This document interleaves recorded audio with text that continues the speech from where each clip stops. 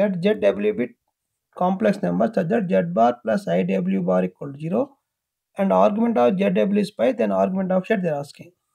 Okay? So given that the first data and using these two data.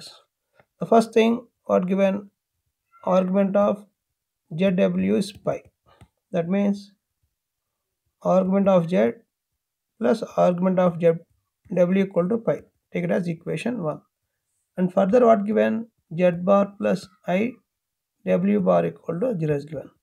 So z bar equal to minus i w bar. So take conjugate on both the sides. If I apply conjugate z bar whole bar is z. And take the conjugate each one separately. So that z equal to conjugate of minus i bar is i w bar whole bar is w.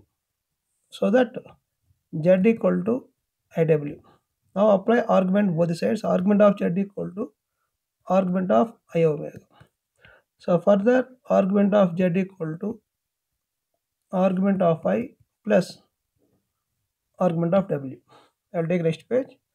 So therefore argument of z equal to argument of i plus argument of w. This one shift this side. Argument of z argument of w equal to argument of i.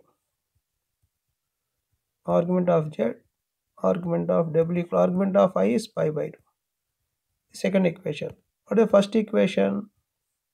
Argument of z plus argument of omega is pi. This first equation adding 1 and 2 equations. You can add 1 and 2 1 plus 2 adding both argument of w cancel that is 2 times argument of z is pi by 2 plus. 2 times argument of z is 3 pi by 2 argument of z is 3 pi by 4 is the answer here. Now check the answer what they are given option. C is the right answer